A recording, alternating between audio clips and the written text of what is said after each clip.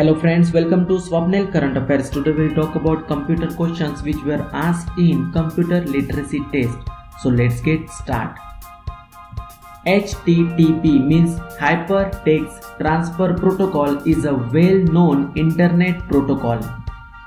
Storage that retains its data after power is turned off is referred as non-volatile. Processor speed measures in gigahertz. In a bank, after computerization, checks are taken care of by MICR means magnetic ink character recognition. Microsoft Office is an application software. In MS Word, which combination is used for bold the letters? And the answer is Control B. Control B is the combination of keys which are used for bold the letters. Which is not a output device. Scanner is not an output device. The full form of DOS is Disk Operating System.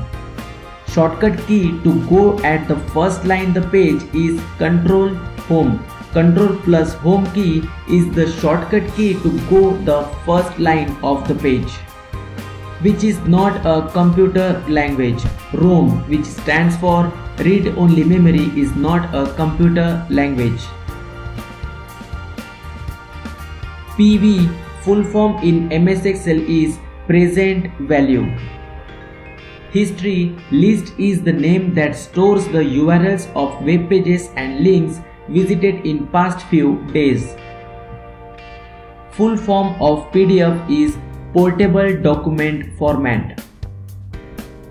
MS-DOS is command-based operating system. Full form of BIOS is basic input-output system. Full form of ECS is electronic clearing system. Shortcut to go at the end of the page is Ctrl plus End. Ctrl plus End key is the shortcut to go at the end of the page. Thank you very much guys for watching the video. Please like, share, comment and subscribe the channel for more related videos.